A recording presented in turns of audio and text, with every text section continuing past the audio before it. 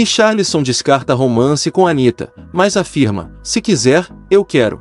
Fala boleirada, aproveita e se inscreve no canal mais querido do Brasil, Boleiragem Pai. Haja coração! Internautas relembram fala de Richarlison sobre Anitta.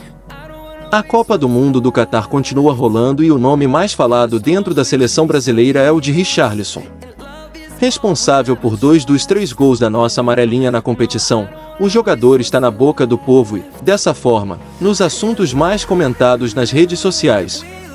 Um dos assuntos dos internautas é de um suposto romance de Richarlison com Anitta, já que o jogador demonstrou interesse na cantora. Entretanto, parece que esse romance não irá para frente tão cedo. Dessa forma, o Brasil já garantiu uma vaga nas oitavas de final. Entretanto, a partida não foi fácil. Sem Neymar e Danilo em campo, com um gol anulado de Vinícius Júnior no segundo tempo pelo VAR e, posteriormente, um gol de Casemiro, os brasileiros foram à loucura. E aí, boleirado, o que vocês acham desse romance? Quero saber tua opinião.